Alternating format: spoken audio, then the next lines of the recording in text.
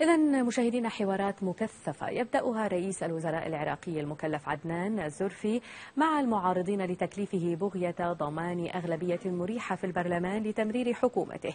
في ظل وجود أو في ظل وجود قوى مهمة ولديها ثقلها في البرلمان تعترض على تكليفه بالإضافة إلى ملفات شائكة بانتظاره.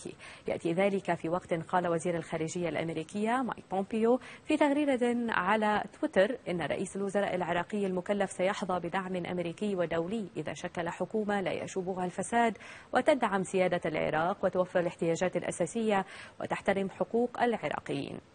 تشكيل الحكومة العراقية الجديدة والتحديات والاعتراضات التي تواجه رئيس الحكومة المكلف عدنان الزرفي هو عنوان حديثنا مع الأكاديمي والباحث السياسي دكتور لقاء مكي. دكتور لقاء صباح النور. صباح النور يا هلا. يعني بداية دكتور في اليوم الثاني على تكليفه هل باتت الثقة البرلمانية لحكومة يشكلها الزرفي أصعب من الاستحقاقات الوطنية التي تنتظره؟ نعم.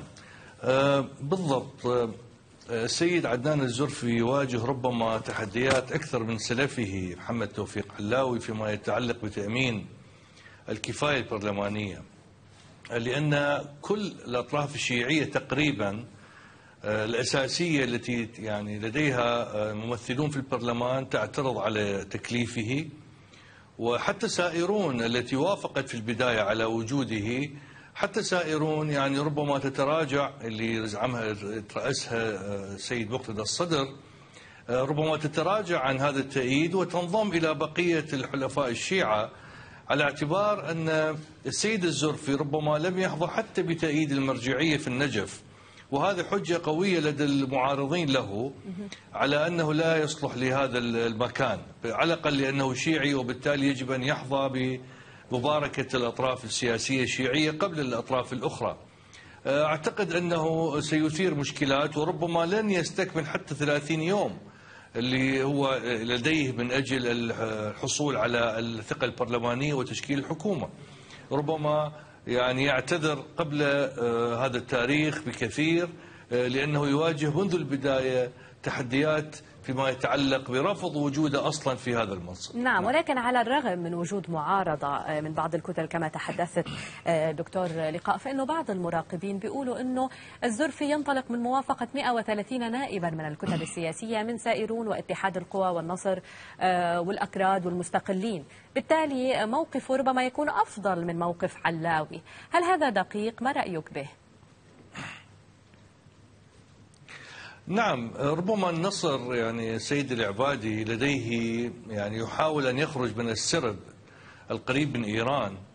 لكن في كل الأحوال ليس لديه ما يكفي من العدد البرلماني حتى بالنسبة للسنة والإكراد عدد المقاعد اللازمة لتأمين النصاب القانوني لتمرير هذه الحكومة بل ربما حتى نصاب الحضور في داخل قاعة البرلمان. أنا أعتقد أن السيد الزرفي ربما يواجه مشكلة أخرى تتعلق بأن يعني هو بالنهاية يجب أن يحظى بموافقة الكتل الشيعية الأساسية على اعتبار أن العراق المحاصصة فيه واقعية بما يتعلق بالعلاقة القيادات الثلاث أو الرئاسات الثلاث وبالتالي هذه الحصة يجب أن يوافق عليها الحلفاء الشيعة الأساسيون وهذا غير حاصل. الأمل الوحيد أمامه إذا تمكن من تفريق هذا الصف الشيعي إنجاز التعبير من خلال استدراج بعض القوى التي وافقت أو اعترضت عليه مثل الحكمة عمار الحكيم سائرون. إذا تمكن من استدراجهم مع يعني مع النصر ربما سيتمكن من تأمين النصاب في المستقبل. هو الرجل يعني يوصف بأنه عنيد ويعني لن يستسلم بسهولة. إذا تمكن من ذلك مع تأمين طبعا موافقة السنة والأكراد ربما ربما نعم. يصل إلى نهاية المطاف ولكن لا ننسى أيضا أن هناك يعني ربما يقومون هذه الأطراف المعارضة لديها ميليشيات ربما تقوم بعملية فوضى يعني نعم. خلق فوضى في البلاد من أجل آه، حملة على الاعتذار والتنازل. نعم يعني قبل قبل الحديث عن الفوضى على الأرض يعني الصراع والتنافس السياسي بالعراق دخل مرحلة جديدة آه، تهدد بأزمة كبيرة للغاية وصلت حتى إلى حد التشكيك بدستورية اختيار الرئيس برهم صالح للزرفي. كيف تقرأ ذلك؟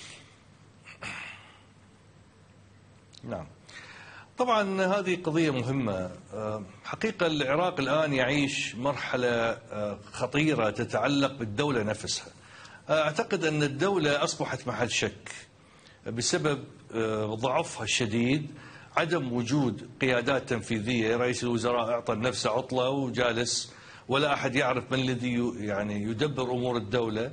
وهي الحكومة أصلا مستقيلة وتصريف أعمال ليس هناك ميزانية الوضع الاقتصادي للبلد أصبح الآن غامض جدا بل ومنهار تقريبا بسبب أسعار النفط ولذلك الأمور يعني طبعا سيطرت من الناحية الأمنية الدولة فقدت السيطرة تقريبا على البلاد، المرض المنتشر حاليا وعدم قدرتها حتى على تطبيق حظر التجول الذي أعلنته. نعم. بالتالي هناك ضعف شديد للدولة إن لم يكن انهيار. في ظل هذه المواقف أعتقد أن العمل السياسي أصبح أيضا عمل خطير. من الناحية القانونية يعني إذا لاحظنا حتى بالجانب القانوني سلطة القضائية انقسمت قسمين. قسم المحكمة الاتحادية أيدت رئيس الجمهورية في اختياره على اعتبار أن الكتلة الأكبر فشلت آه، حتى الآن في اختيار مرشح. ومجلس القضاء الأعلى اللي يرأسه شخص آخر رفض هذا القرار واعتبره غير غير دستوري. وبالتالي هناك انشقاق داخل الهيئة القضائية بين مجلس القضاء الأعلى وبين المحكمة الاتحادية بسبب خلاف شخصي بين رئيسي هاتين الهيئتين القضائيتين. نعم. وكل واحد منهم منحاز لطرف سياسي معين. وهذا الأمر يجعل حتى الهيئة القضائية مشكوك في مصداقيتها وهي المرجعية النهائية والأخيرة لل على الأقل الاحتكام لها في حال نشوب خلاف دستوري أو سياسي بين الأطراف. أعتقد أن الأمر وصل إلى مرحلة من الانشقاق والاختلاف والانهيارات داخل المؤسسة العراقية. أصبح واضح جدا سواء على المستوى التشريعي أو التنفيذي أو القضائي. نعم. كنت تتحدث قبل قليل عن آه، تيار الحكمة. بالتحديد إلى ما تعزو إصدار تيار الحكمة بيان رفض فيه طريقة التكليف دون الإشارة إلى آه، شخص رئيس الوزراء. يعني هل هو ملاقاة الكتل الشيعية في منتصف الطريق؟ وهل أبقى على الجسر مع الزرفي؟ أعتقد تيار الحكمة ربما يكون أكثر اعتدالا من أطراف أخرى قريبة من إيران ومتطرفة في مواقفها مثل الفتح على سبيل المثال والعصائب وهذه الأطراف والدعوة دولة القانون. آه، لكن آه، الحكمة اعترض على أن رئيس رئيس الجمهورية لم يستشر الكتل السنية الشيوعية الكبيرة عفوا فيما يتعلق بترشيح شخصية رئيس الوزراء أو اختيار رئيس الوزراء. اعترض على الآلية وليس على الشخصية نفسها على الزرفي. الزرفي قد لا يكون بعيد والمناسبة الزرفي هو عضو سابق في أو قديم في حزب الدعوة. نعم. وكان محكوم عليه بالسجن قبل 2003 وبالتالي هو منهم. يعني هو ليس غريبا ولكن هم يعترضون مو فقط على الآلية بعض الأطراف مثل الحكم على الآلية وبعض الأطراف على شخصية الزرفي بسبب ما يتهم به من قرب الولايات المتحدة. نعم. ولأنه طبعا يحمل الجنسية الأمريكية.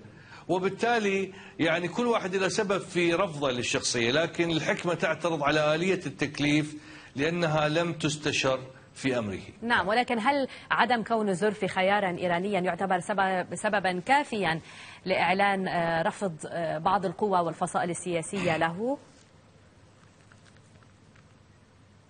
بالتأكيد الآن سياق التكليف الحالي سياق السياسي آه، لا يحتمل عدم التوافق على الأقل. إيران لم تعد يعني سابقا كان هناك توافق إيراني أمريكي على شخصية رئيس الوزراء. الآن آه، بسبب انقطاع التواصل والصدام بين الطرفين أصبح كل منهما يريد أن ينصب من يريد يعني من يميل له. ولذلك الآن في تعطيل الحياة السياسية في العراق من أربعة أشهر. نعم. هذه من ناحية. من ناحية ثانية إيران فقدت العنصر الأساسي الذي كان يعين رئيس الوزراء وهو قاسم سليماني. آه، غيابه واضح الأثر جدا في اختلاف الأطراف الشيعية بتعديل بتح- بتحديد رئيس وزراء. يعني الأطراف الشيعية أصلا فشلت حتى الآن في اختيار شخصية معينة. أي شخصية كانت لتولي المنصب وهذا الفشل يعود بسبب أساسي هو عدم وجود مايسترو كان يأمرهم فيطيعوا وهو قاسم سليماني نعم. إيران لم تتمكن من يعني من من تكليف شخصية أخرى مؤثرة لأنه ليس هناك يعني شخص آخر يحل مكانه في مثل هذا الوقت القصير نعم. على هذا الأساس الأطراف الشيعية فشلت وإيران لا تريد أن يمرر رئيس وزراء معادي لها أو قريب من الولايات طيب المتحدة. وبناء على ذلك هل من الممكن أنه نشهد تصعيد على الساحة فيما يخص المتظاهرين؟ لا سيما وأنه كما تحدثت بدر وصادقون غير موافقين على ترشيح عدنان الزرفي. هل من الممكن أنه يحركوا أجنحتهم العسكرية وينعكس ذلك على التظاهرات على الأرض؟ هم بالحقيقة بالمناسبة يعني رغم أنهم كانوا يشتمون التظاهرات ويعتبروها أمريكية نفس هذه الأطراف نعم. خلال اليومين الأخيرة بدأوا يمتدحونها ويعتبرونها سبب لرفض الزرفي على اعتبار أن المتظاهرين رفضوا الزرفي يعني بدأوا يتحججون بالمظاهرات لأنها تمثل رفضا شعبيا لكن ولذلك لا أعتقد أن المتظاهر- المتظاهرين سيهاجمون لا سيما وأن حركة التظاهر خفتت نسبيا خلال الفترة الأخيرة لأسباب منها طبعا انتشار مرض كورونا وأسباب صحية وأيضا لأن هناك يعني نوع من ال- النمطية في حركة التظاهر وليس هناك محركات إضافية أساسية وأسباب تدعوهم لتجديد التظاهر في هذه المرحلة. أعتقد أن الصراع السياسي نعم. يكفي للمتظاهرين لإعلان مواقفهم من خلال بيانات وليس فقط من خلال الوجود في الشارع. لذلك لن يكون هناك هجوم عليهم.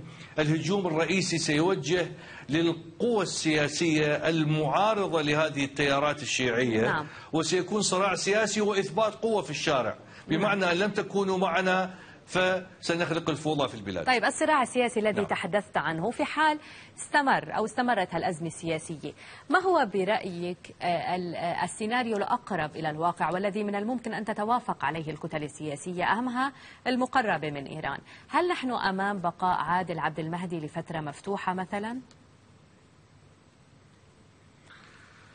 عادل عبد المهدي هو الشخصية المفضلة للقوى الميليشياوية القريبة من إيران. لأنه على الأقل أعطاهم الحرية الكاملة خلال العام أو الأكثر الذي مضاه في السلطة حتى أنهم سيطروا على الدولة. وهذا يعني ولذلك إيران لن تجد أفضل منه لإدارة هذه المرحلة لأنه هو الغائب الحاضر. هو غير موجود أصلا مختفي عن الصورة معطي كل الصلاحيات لمكتبه. ومكتبة يدار من قبل الميليشيات أو الذين يعتبرون بأمرهم أو القريبين منهم وبالتالي آه، ليس هناك وجود للدولة بأنظمتها ومؤسساتها المعروفة. لذلك هو خيار أن يبقى إلى ما شاء الله يعني على الأقل الانتخابات إن كانت هناك انتخابات. لكن أعتقد أن هذا الخيار أولا غير مقبول واقعيا وثانيا هناك تحديات خطيرة تواجه الدولة نفسها منها الميزانية التي لم تقر. وعدم وجود يعني أفق ما يتعلق اقتصادي لا سيما مع انهيار أسعار النفط الحالية، بالتالي يجب وجود حكومة قوية لتمشية أمور الدولة الاقتصادية، في مرحلة ما لن تتمكن الدولة حتى من دفع رواتب الموظفين، وهذا الأمر خطير لأنه سيعني نهاية أو انهيار عام على الجميع، يعني انهيار المعبد على الجميع. وهذا لا تريد الأطراف المختلفة في السلطة. من هذه الزاوية سيجري أو سيكون محتم على الجميع اختيار رئيس وزراء، ولكن بأي آلية؟ وهناك صراع شديد الصراع الأمريكي الإيراني يفرض نفسه بقوة على آلية الاختيار لا تريد أمريكا شخص يأتي ويجبرها على الانسحاب نعم. ولا تريد إيران شخص يأتي ويكون قريب من الأمريكان ويبقيهم في العراق ولذلك الأمر عصيب. من ينتصر من بين هؤلاء الطرفين؟ يستطيع أن ينصب رئيس وزراء. ولكن كيف كيف يقين يعني كيف في الدعم العراق. الأمريكي آه، لعدنان الزرفي؟ هل يعني صب في مصلحته؟ هو بالحقيقة ليس هناك دعم مطلق على الأقل علنيا وحضراتكم أشرتم كان دعم إلى. تغريدة بومبيو. ال- الأمر متعلق بشروط. نعم. هو أمريكي الجنسية كما هو معروف ولديه بعض العلاقات مع الأمريكان مشهورة ومعروفة. ولكن بالنهاية هو ليس قريب من إيران وهو يعتقد أنه ربما سيضرب الميليشيات كما فعل في عام 2005 حينما كان محافظ النجف. بالتالي هو الخوف منه من هذه الزاوية. آه، بالتأكيد دعم أمريكيا قد يبدو أنه ليس في صالحه ولكن لا ننسى أن هناك اليوم اللعب على المكشوف بين الإيرانيين والأمريكان. وحتى المجتمع العراقي السياسيين الطبقة السياسية منقسمة بين من هو مؤيد لأمريكا وبين من هو مؤيد لإيران. بالتالي آه، دعم أمريكيا ليس بالضرورة تسقيط له لأن هناك هذا يعني أن هناك من سيؤيد بسبب قرب من الولايات المتحدة. كل من يعادي إيران في الطبقة السياسية أصبح قريب من أمريكا والعكس صحيح.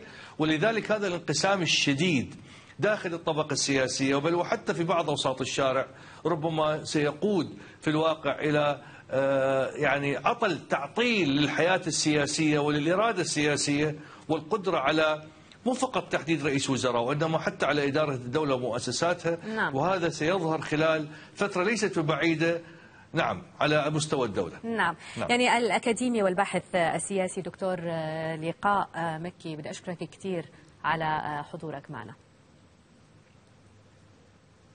شكرا.